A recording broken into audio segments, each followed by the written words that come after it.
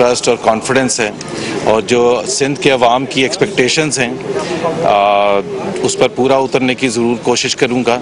ان شاء اللہ محنت کے ساتھ اور سندھ میں ایز اے ریپرزنٹیٹیو فیڈرل حکومت کے تمام وہ چیزیں جو میرا خیال ہے سندھ کے عوام محسوس کرتے ہیں اور سمجھتے ہیں کہ ان کا حق ہے وہ پورا کرنے کی پوری کوشش کروں گا۔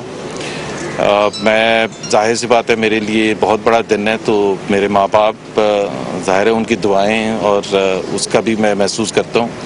اور ایک آج میں محسوس کر رہا تھا کہ قائد اعظم محمد علی جناح جہاں آئے تھے، وہاں اسی جگہ میں گیا اور حلف لیا۔ تو ایک ظاہر ہے، امید تو یہ ہے کہ اگر ون ہنڈریڈ بھی ان کے نقش قدم پر چلوں تو شاید کچھ نہ کچھ بہتر ہو سندھ۔ بہت بہت شکریہ۔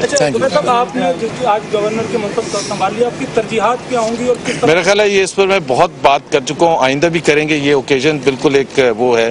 میرا خیال ہے اس پر